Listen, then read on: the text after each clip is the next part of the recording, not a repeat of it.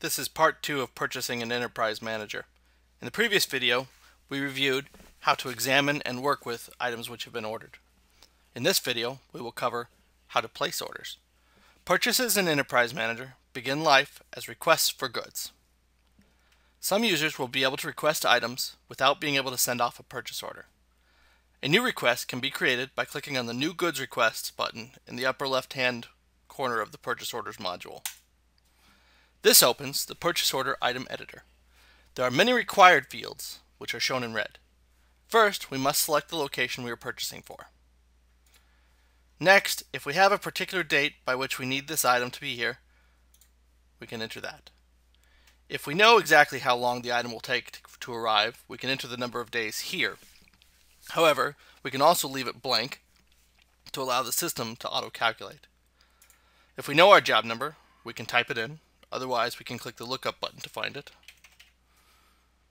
If we know our vendor code, we can type that in. Otherwise, we can press the lookup button to find it. The lookup window for vendors has a favorites list available, which can be added to and subtracted from.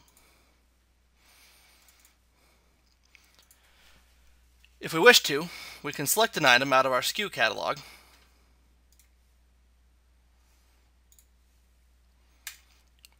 which will pre-populate the vendor description, the item number, it will allow give us a list of vendors to select from, and can supply us average costing information on order information when an item was last received. However, we don't have to select from that catalog. We can simply enter an item by description. We enter our quantity, and in this field we can enter math if we need to. We select our unit of measure. Here we specify whether we're going to tell the system the actual cost to place on the purchase order or simply an estimate of the cost.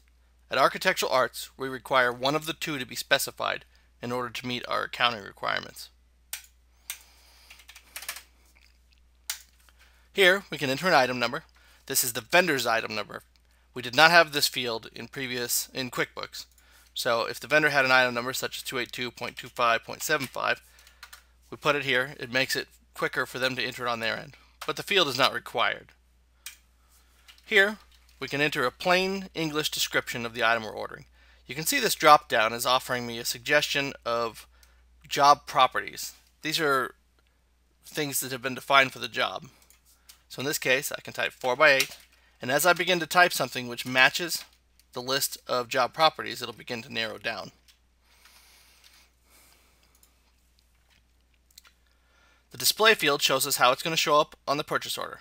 So even though I've entered 4x8 PL2, the purchase order is going to show what PL2 actually stands for. Internal description is simply for our own use. It will be displayed to the receiver, but will not show on the purchase order. I can check the notify me on goods receipts for this item box if I want to receive an email and hot note anytime this item is received. The materials GL account is not a required field. There are a lot of things that will go into the system calculating the default This is a list of other items that are already on request from this vendor, and the suspend request checkbox will prevent anybody from ordering this item until it is unsuspended. If I'm ready to add another item, I can simply click Save and New.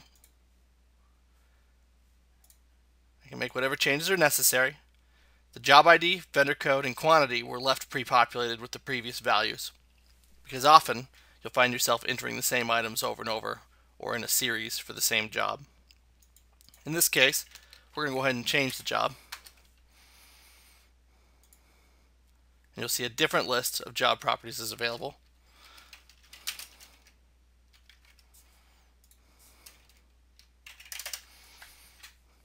Again, we can type math into this field.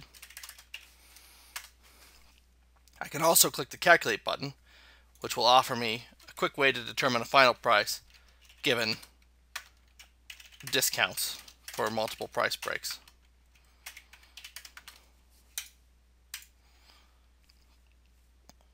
When I'm done entering orders, I can simply hit save instead of save and new.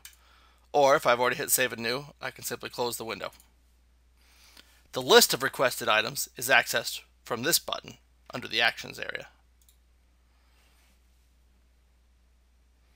You'll see that's grouped by facility. I can also filter by facility to only see Des Moines.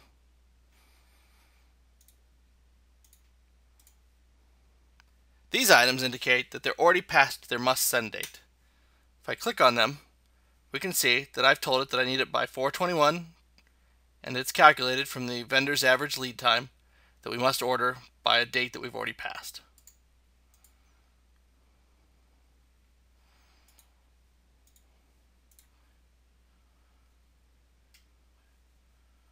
Again, it still indicates that my new need by date is unobtainable. So I'll kick that out just a little further into the future just to demonstrate what it looks like. So now we're no longer past it, but we are approaching the must send by date. In this way, you can put requests for items in, tell the system when you need them, and our purchasing manager can make sure that we get the items when they're needed. When we're ready to issue a purchase order, we'll simply right click on the vendor and select the issue PO item. This opens up the purchase order editor where we can specify where the item is shipping to, how we're going to transmit, which I'm not going to, but transmitting by fax, we'll send a fax from the server. Transmitting by email, we'll send an email from the server, not your local station. Payment method and shipment method are available, however, they're set to the vendor's defaults. We can change the vendor's instructions. Here we have two lists, one list of items that we're simply going to leave requested, and one that we're going to add to the purchase order. I can move them by using the arrows.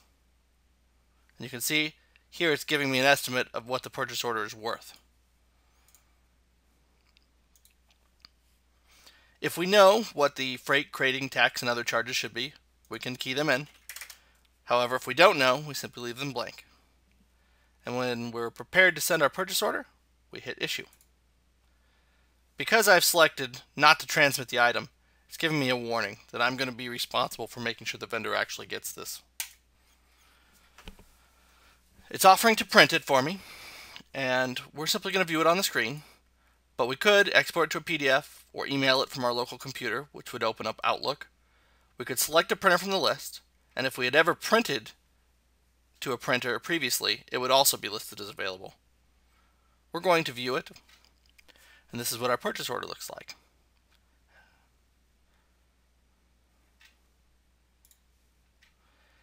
After issuing the purchase order, that purchase order is opened in a window for me to look at.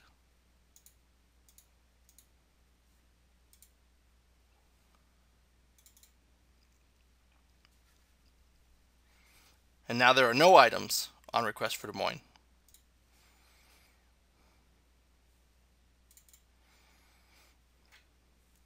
If I load one of the jobs that I just ordered for,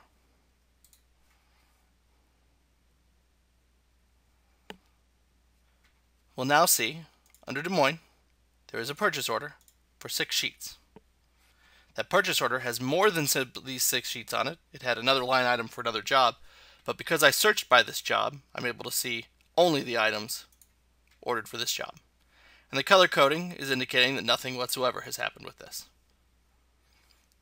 Because I've placed an order, my home screen now has an action item telling me that we've not received a confirmation. Asking me to contact the vendor or wait for the vendor to send a confirmation using its normal process and then enter whatever they tell us in terms of when we're going to receive our items. This is a step which will normally be conducted by our purchasing manager. But if I click on it, it'll pull up the purchase order for me. And I can right click on the purchase order and enter my confirmation. Here I have a list of the items. I can select them one by one or I can multiple select them. In this case, we're going to indicate that we're going to receive these on two different dates. So this item, I will indicate, is going to be received here. And this item, purely to demonstrate what happens when an item becomes overdue, I will indicate should be received yesterday, even though that's nonsensical. You'll see now I have a new action item. There's no longer any purchase orders of mine that require confirmation. However, this one is overdue because the date that I told it has come and gone without a receipt having occurred. So the next step here would be to contact the vendor and find out what the new corrected date is. And we'll indicate it's this. And because I have no actions left that need my attention, I have nothing on my list.